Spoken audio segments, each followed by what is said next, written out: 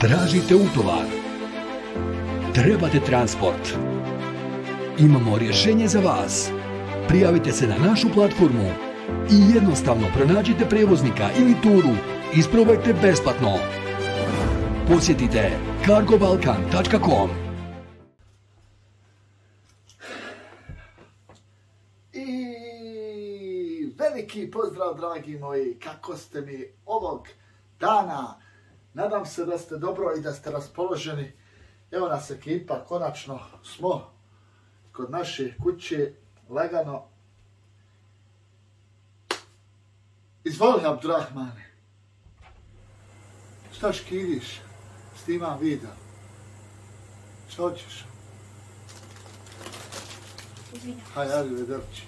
Ajde, Ajde, čao. Moram otvoriti vrata. Belma, grah sprema, grah sprema. Izvinjavam se što nije bilo videa. Jedan period, evo ga, jedan video da vam ukratko objasnim šta, kako, gdje, šta se dešava. Nisam uspio da snimam video, htio sam da vam snimam vlog iz eh, Varaždina, vlog iz Zagreba. Nisam uspio ekipa, izvinjavam se.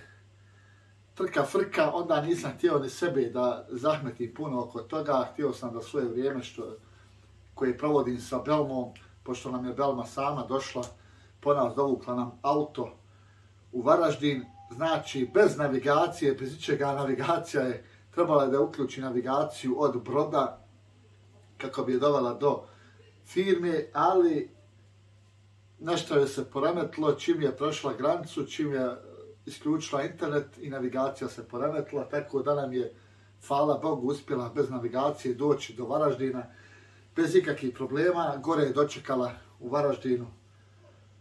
E, ona je došla do Lidla, samo da je produžila još dole 500 metara, udarila bi na firmu, ali eto, sreća pa je nazvala Belu i Bela je došla po nju, sačekala je Bela i odvela.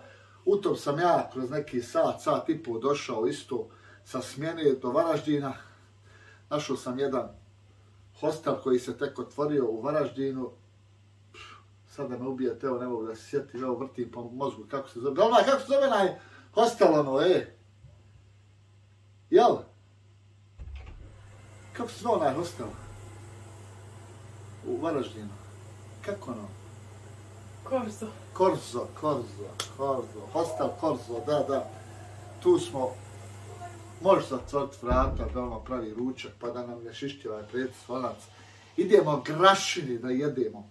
Ekipa, uh, Hotel Korzo u Varaždinu, tople preporuke, nije ni skupo, 37 eura prenoćište, pa ima neki, slagat ću vam ja, 30 nešto kvadrata apartmana, ima dva odvojena, ima kupatlo sa WC-om, ima odvojeno WC, ima bračni krevet, sobica i vamo je veliki dnevni boravak i kuhnja sa dva kreveta, znači četiri čovjeka mogu fino spavati, da se rastali,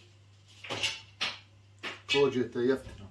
Naime, šta smo radili u Varaždinu? U Varaždinu smo naravno, Belma je dovukla auto kako bi ga registrovali, auto smo registrovali, ekipa, evo sad ovdje, dobili smo zelene tablice, auto smo sad stavili na moje ime, evo vidite tu, Ašarev Čamer, zato, smo, zato je Belma došla s autom gore kako bi registrovali i onda smo naravno išli, to smo sve, sve završili u ponedjeljak, ja sam došao u nedelju, prenoćili smo, u ponedjeljak smo sve završili, znači još sad smo radili u ponedljak prije registracije, išli smo da predamo za vozačku dozvolu.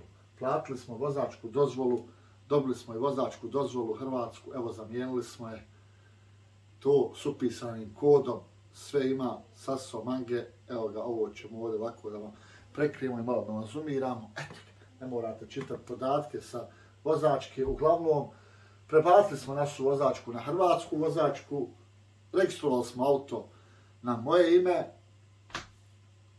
E,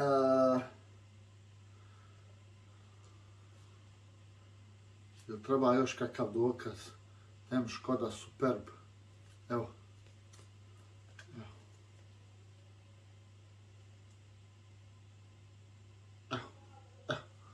Škoda Superb, ako se vidi, vidi, ako ne vidi, šta ću vam ja, uglavnom svi znate da vozim Škoda, sam kupio prošle godine Škodu, evo ga sad, sam je registrovao na sebe. To je to, znači u Zagreb smo otišli u ponedjeljak kad smo završavali, čim smo završili tablice, jer smo ostali tablice za kraj dana, prvo smo završavali oko vozačke, ljekarskog, oko ljekarskog i toga, uh, sam postupak vađenja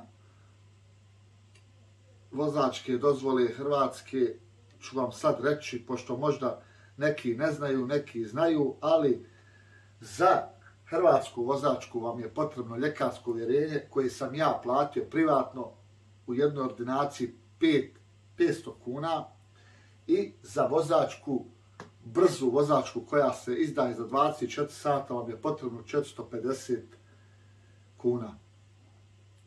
Registracijama me izašla, ne pitajte, znači potrošio sam 4000 kuna, 4000 kuna sam dao za neki porez, ne, ne znam ni ja, za tablice, za saobraćanje, šta ja znam kako to ide, uglavnom 4000 kuna sam dao tu i 1650 kuna sam dao za osiguranje auta. Znači, zaklalo me, ali šta je tu, evo bare sad na, moje, na, na mom imenu, sad ga mogu prodat, mogu ga uvest, mogu ga, mogu rasanjim što hoću. Eto, uglavnom, to je to, znači, eto, otprilike sam rekao, dešavanja, prenoćio sam dole u Hotel Evropi, koji je imao Instagram, mogu je vidjeti da sam u Hotel Evropi u Zagrebu, bio sam tu, išli smo malo dole do trga Bana Jelačića, ja i Belman, onda smo malo pošetali vamo, našli smo burger, tu smo malo večerali, otišli u hotel, naravno, prenoćili sutra ujutru, 11 sati se ujutru ustao, dočkovalo u hotelu, pošto je s dočkom, super, tamam.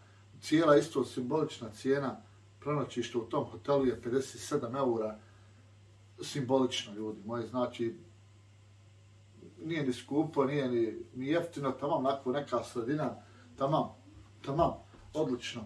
Pronoćili, sačekali, otišli, dočkovali, to vam kažem, pokupili se, spremili se, malo pospremili po hotelu i gas razgulili u slancu policije u Zagrebu, podigli vozačku i vija Bosna kuća. Znači, došli smo juče, eto, u 11 smo, u 11, 15, pola 12 sam podigao vozačku, možda bila je 10 ljudi neki ispred mene, dok sam sačekao red, podigao sam vozačku, krenuli smo tu negdje oko pola 12, možda iz Zagreba, možda 12, Pa oko 12, dok smo svatili Lidl, ovo ono, eto, hajde rećemo da smo u 12 krenuli iz Zagreba i bili smo kući lagano, smo vozili, nismo ništa ni žurili, pravo da vam kažem.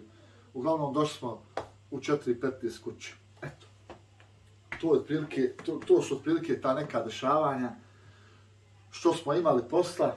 Sad imamo ovdje nekog posla po Sarajevu, pa ću se malo zadržati, ne vjerujem da ću odmah na poslu ići. Htio sam odmah da se vratim sad u subotu na poslu, tako sam bio i planirao, ali međutim imam nekog posla, pa vidjet ćemo kad ću se vratiti na posao. Uglavnom, ja ću s vremena na vrijeme obivijest ako bude kakvih promjena. U stvari, bit ćete u sve upućeni, snimat ćemo, evo, vlogove, snimat ćemo ovo, snimat ćemo ono.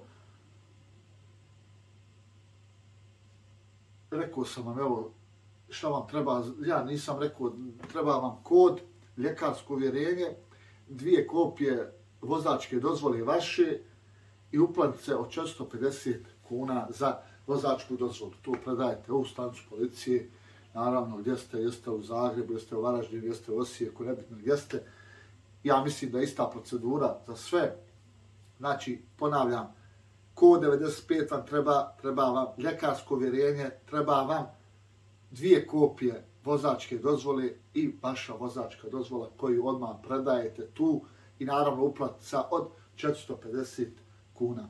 Da bi do 450 kuna važi samo za, ako želite odmah vozačku za 24 sata, nisam pitao koliko je postupak, koliko traje postupak normalno kad hoćete vozačku da predate, da koliko je para, nisam odmah rekao gospođi, treba mi vozačka u što kraćem roku. Ona je rekla 450 kuna, 24 sata, ja sam rekao može.